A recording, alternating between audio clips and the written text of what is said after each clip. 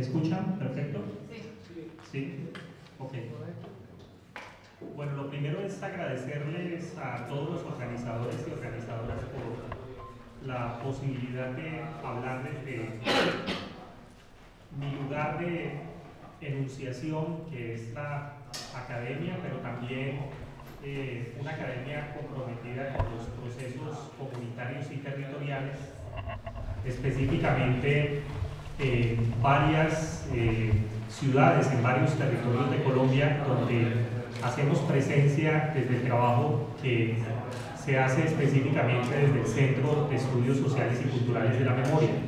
Yo soy profesor de la Universidad Javeriana de Bogotá, una universidad que ha tenido también una preocupación importante por los procesos de paz en el país eh, y específicamente ha estado trabajando del lado de las comunidades más afectadas en el marco del conflicto armado eh, y específicamente la apuesta ha sido por eh, las víctimas eh, y específicamente dentro de esas víctimas los sectores más vulnerables que son fundamentalmente los jóvenes, las mujeres, los niños y hemos hecho varios procesos de los cuales algunas, algunos de ellos voy a mencionar hoy. Pero quisiera como poner, antes de hablar de esos procesos, un poco del contexto acerca desde el cual yo voy a estar hablando. Fundamentalmente voy a hablar un poco sobre el proceso de paz, no voy a, a, negar que yo soy una persona que cree en el proceso eh, y que reafirma fundamentalmente que el proceso es esperanzador, tiene potenciales, pero evidentemente tampoco podemos negar que hay dificultades eh, y dentro de esas dificultades también hay muchos procesos de aprendizaje que creo van a derivar de este evento. Lo primero que quiero decir es cómo se llega al proceso de paz, un poco para hacer contexto eh, analítico eh, y después derivar a cuáles son como los potenciales que yo veo en el actual proceso. llegamos al proceso de paz tras una amplia década que algunos analistas denominan como la década de la movilización por la paz en Colombia. Es la década que va de los años 90 hasta el 2000. Pero esa década tiene unas particularidades y es que la gente sale a las calles a manifestarse a favor de la paz y en contra de la guerra en un país con unos territorios afectados por una guerra en la que los impactos directos recaen fundamentalmente sobre muchas personas y colectivos, y eso es innegable. Estamos hablando fundamentalmente de líderes sociales, defensores y defensoras de derechos humanos, estamos hablando también de mujeres, estamos hablando de niños, eh, que son los sectores, digamos, en donde la guerra ha impactado eh, y también estamos hablando de campesinos y de campesinas en territorios que han estado ubicados en los márgenes del proyecto nacional. Es decir, hay movilización por la paz, pero también hay unos territorios afectados por la guerra. En segundo lugar, creo que es importante mencionar en este escenario que esa década de movilización por la paz, que es muy fuerte, será eh, seguida también de una década que fue la década de la seguridad democrática en Colombia. Y esa década de la seguridad democrática la marcó fundamentalmente una tendencia de un gobierno que estuvo durante dos periodos y durante esos dos periodos las características de esos dos periodos presidenciales fueron fundamentalmente, primero, el enorme populismo bélico que acompañó a la seguridad democrática. Segundo, eh, una etapa un proceso de estigmatización, criminalización de la oposición política. Eh, tercero, cobra importancia también en medio de esa criminalización y en medio de esa estigmatización política, también empieza a cobrar importancia el discurso o la narrativa de la seguridad, de la justicia transicional del país. Eh, y hay un tercer momento que me parece que es importante, que viene después de eh, lo que se conoce como la etapa de la seguridad democrática, que es lo que podríamos nosotros denominar un momento de inflexión histórica, eh, que se caracteriza fundamentalmente por una apuesta del gobierno colombiano, que también es un gobierno que estuvo conectado, enlazado con la seguridad democrática, pero también un sector importante de la sociedad civil y las FARC que le apuestan a un proceso negociado. Hay algo que me parece que es importante y es que en el marco de ese momento de inflexión histórica que va del 2013 al 2016, estamos hablando de un momento en el que hay un diálogo en medio de la confrontación, también hay un desescalamiento del lenguaje y de las acciones, eh, especialmente también por parte de las FARC eh, y por parte de algunos sectores de la oficialidad colombiana, no estoy hablando de todos los sectores, pero también hay que contemplar que estamos en un clima de polarización política, de desconfianza nacional, pero también de respaldo internacional al proceso de. ¿Por qué coloco esto? Porque eso nos permite entender cuál es, digamos en términos generales, cuál es el mapa que antecede el proceso de paz en el país. Siguiente. Quisiera ahora devolverme un poco en la historia para que la historia también nos sirva a nosotros de referente sobre lo que ha sido este proceso en el marco de otros procesos que hemos tenido en el país y que ustedes puedan sacar sus propias conclusiones. Lo primero es que entre 1981 y 2013, que inicia el último proceso, uno pudiera decir en Colombia han habido más o menos unos 10 procesos grandes de paz. Y esos 10 grandes procesos han estado también conectados con unas lógicas muy particulares de los gobiernos. Pero revisando y haciendo un poco de historia, devolviéndonos incluso hasta los años 50 e incluso un poco antes, podemos decir que en Colombia ha habido más de 50 intentos de paz en el país. Yo quise colocarles a ustedes como estas premisas, estos enunciados, para que ustedes puedan sacar sus propias conclusiones. Por ejemplo, el gobierno de Rojas Pinilla le apostó a unas amnistías políticas, pero fundamentalmente bajo la lógica de una pacificación territorial.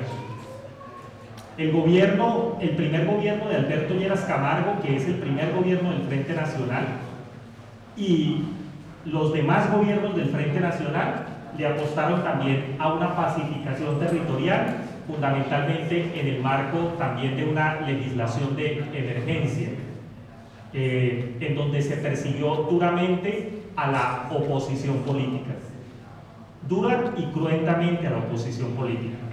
A partir del gobierno de Turbay Ayala empiezan lo que se conoce como procesos institucionales de paz, pero una paz que ha tenido unas características también muy específicas. Por ejemplo, el gobierno de Turbay le apostó a la paz instrumental, a lo que yo denomino paz instrumental, en medio de una legislación de emergencia y de persecución también de la oposición.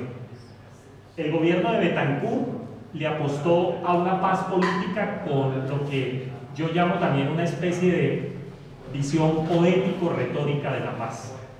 Eh, el gobierno de Barco le apostó fundamentalmente a una paz pragmática llena de expertos y comisiones. Fue el momento en el que proliferaron en el país las comisiones de paz, proliferaron en el país también las comisiones de violencia. Fue el, país, fue el momento en el que también empezó a tener importancia el Plan Nacional de Rehabilitación. Era una paz fundamentalmente ajustada a técnicos y experticias. La paz de San Pedro fue una paz política en medio de una gran ilegitimidad gubernamental. La paz de Pastrana fue una paz negociada con planes de consolidación territorial y fundamentalmente, pues ustedes saben, la impronta que tuvo el Plan Colombia eh, y todo el papel que tuvo el Plan Colombia, no solamente en el país, sino también en la región latinoamericana en general. La paz del gobierno de Uribe fue fundamentalmente una paz militar, una paz de pacificación militar de los territorios. Y finalmente estamos en la era de Santos, y la pregunta es, ¿de qué tipo de paz estamos hablando allí? Yo coloco, yo digo, estamos hablando de una paz liberal, eh, para algunos es la imagen o la representación de la paz neoliberal, eh, con algunos énfasis en lo territorial y con algunos énfasis en las víctimas. Yo quiero, digamos que ustedes en el debate y también con los colegas que también vamos a, digamos, a, participar, que van a participar en este escenario, tengamos esto como referente también para poder discutir más adelante de qué tipo de paz estamos hablando en el país. Siguiente. Quisiera también generar la siguiente pregunta en el auditorio y es ¿dónde estuvo el acento de los diálogos de paz, FARC y gobierno? Yo creo que el acento fundamentalmente de, estos, de, este esfuerzo, de este último esfuerzo, estuvo fundamentalmente en lo que pudiéramos decir más en los factores prolongadores que en las causas estructurales del conflicto. Y ahora voy a hablar de qué es lo que distingue los factores prolongadores de las causas estructurales del conflicto. Tengamos en mente cuáles han sido las causas estructurales de nuestra guerra. Yo menciono varias, ahí probablemente no estén todas las que han eh, analizado los, digamos, expertos en el tema del conflicto en Colombia y tampoco están todas las que han reconocido las FARC. Fundamentalmente son como las principales, entonces yo coloco el énfasis en la pobreza estructural, en la desigualdad agraria, en la precariedad institucional y en la ineficiencia del Estado, en la injerencia militar de los Estados Unidos, en el cerramiento de nuestro sistema político, en la captura violenta de rentas, en la inexistencia de un proyecto de sociedad incluyente o en, la, en el énfasis en un modelo económico nacional y en unos estilos de desarrollo con un enorme sesgo anticampesino. Sin embargo, cuando uno mira los acuerdos, uno se da cuenta de que muchos de estos elementos no son colocados en cuestión. Lo que yo digo que se coloca en cuestión fundamentalmente en el acuerdo final son los que se denominan los factores prolongadores. Pasemos a la siguiente diapositiva. ¿Cuáles son esos factores prolongadores de nuestro conflicto? La fragmentación territorial, la economía de guerra regional, el sistema clientelar predatorio de nuestro país, el uso de prácticas privadas de justicia, el crecimiento de ejércitos irregulares, la combinación perversa entre urnas y votos, la precaria regulación de los derechos de propiedad, el desplazamiento forzado como arma de guerra, el clima de impunidad crónico que ha tenido en el país. Siguiente diapositiva. Quisiera entonces decir qué es lo que diferencia a las causas estructurales de los factores prolongadores.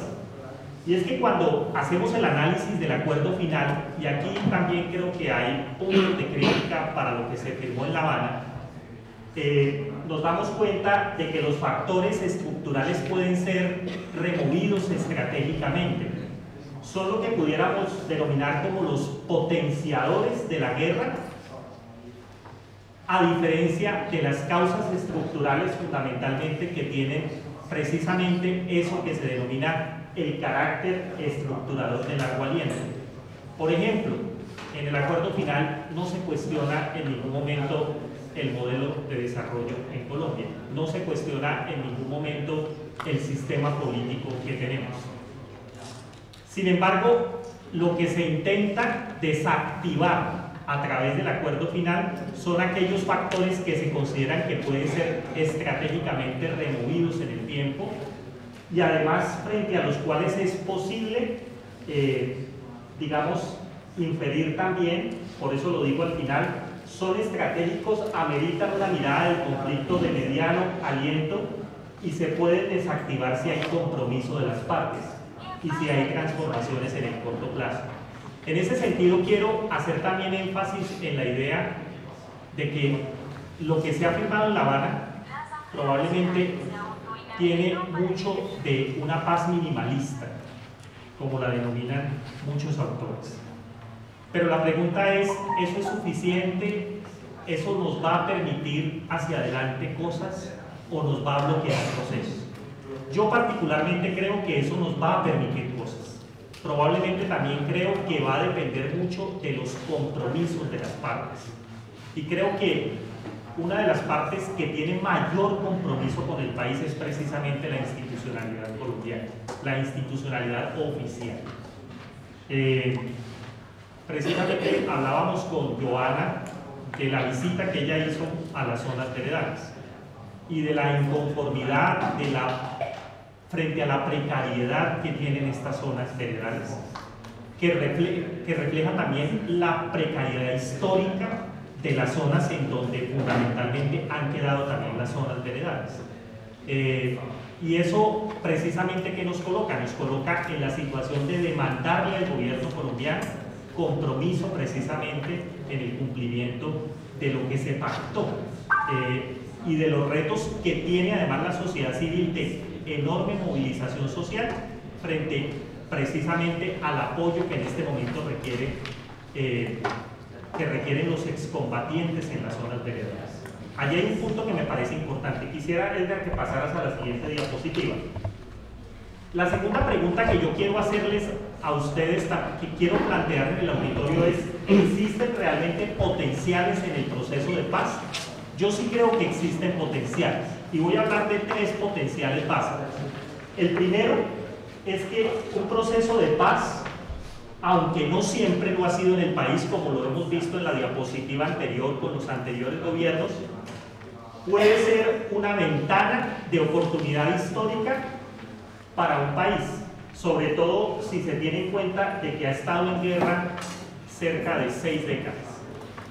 Eh, y cuando digo que es una oportunidad histórica, estoy hablando de que es un momento de inflexión histórico importante para muchos sectores de la sociedad.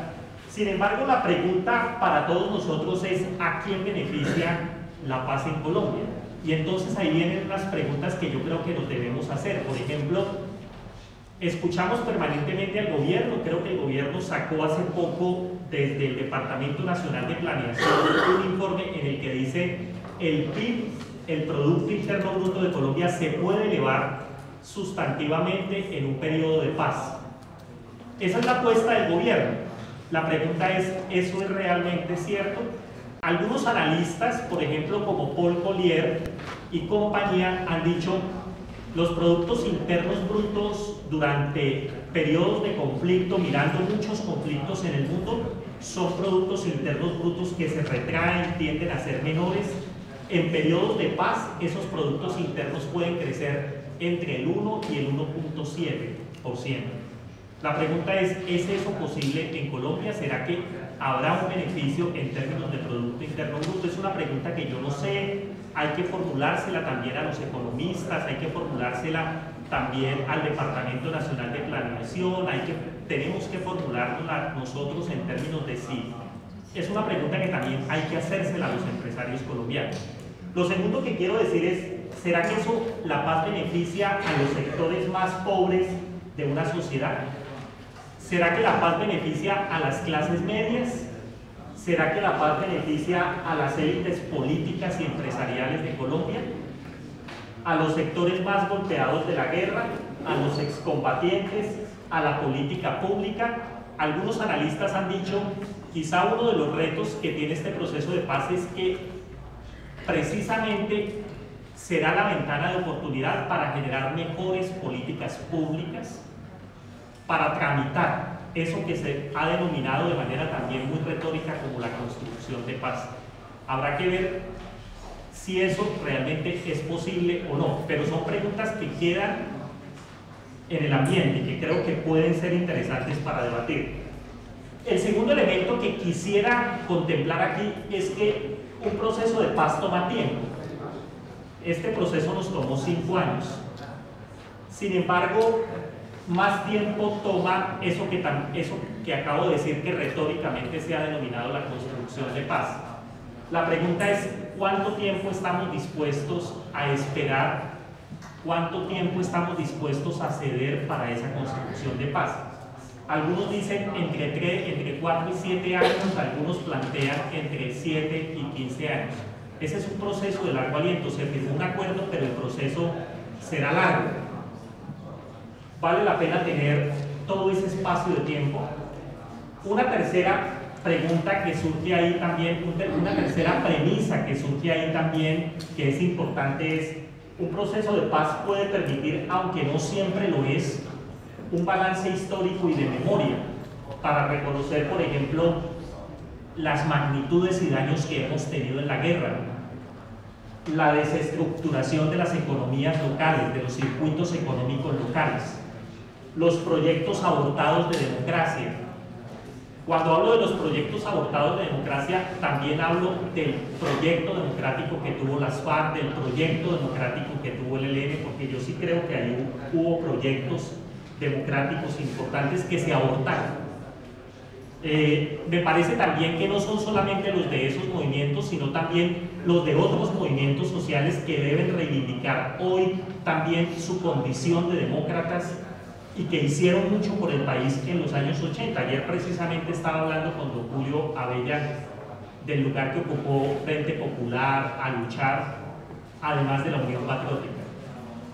Me parece también que es importante preguntarnos si la paz puede activar ese enorme archivo público del dolor que ya de hecho es bastante grande en Colombia. La pregunta ahí es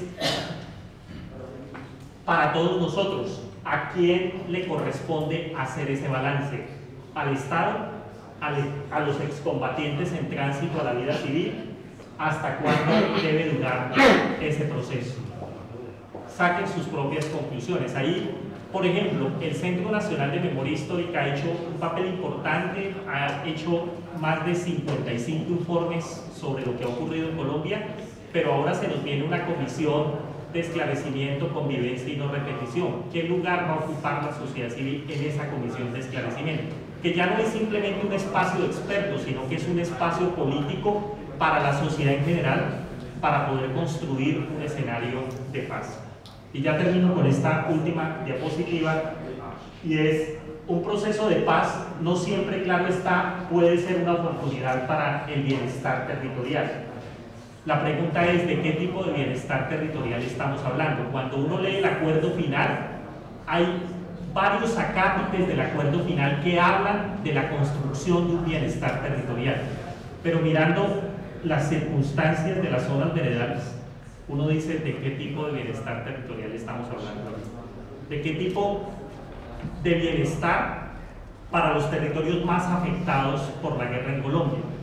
Yo sí creo que hay también que preguntarnos si ese bienestar territorial debe construirse desde arriba, debe ser un proceso neoliberal o debe apostarle fundamentalmente a los activos de paz, a las institucionalidades comunitarias que hay de larga data en Colombia, me parece que hay unos esfuerzos desde la sociedad civil que hay que volver a recuperar, hay que volver a hacer memoria sobre esos procesos.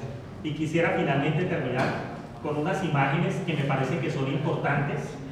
Esta es una imagen de Puerto Gaviotas, Guaviare.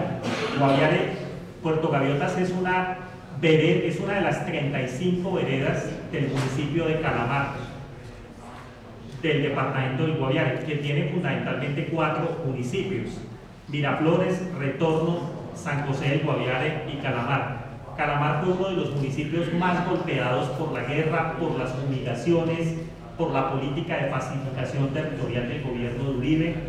Fue golpeado además porque allí en Calamar hubo presencia fuerte de la Unión Patriótica y presencia del Frente Primero y del Frente Séptimo de las FARC.